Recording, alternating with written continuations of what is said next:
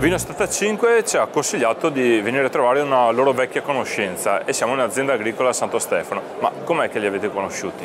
Vino 75 li abbiamo conosciuti al primo Vinitali, quello di quattro anni fa, che è stato il punto di partenza di tutta la nostra struttura, di tutta la nostra rete vendita. Vino 75 per noi era un modo di vendere alternativo, totalmente moderno, online e da lì è nata questa collaborazione che funziona benissimo ancora oggi e noi siamo felicissimi di collaborare con loro. E oggi cosa possiamo consigliare di assaggiare? Al Vinitaly abbiamo portato tutta la nostra gamma di prodotti che va dal Brut al Satin, al millesimato Brut, alla riserva, però in particolare noi oggi Vinitaly 2019 presentiamo il nostro dosaggio zero, che è una vendemmia 2016, 90% uve chardonnay, 10% di pino nero ed è il prodotto che nei primi due giorni ha riscontrato il maggior successo. Okay? Quanti mesi fa di Questo fa da disciplinare i suoi 24 mesi sui lieviti.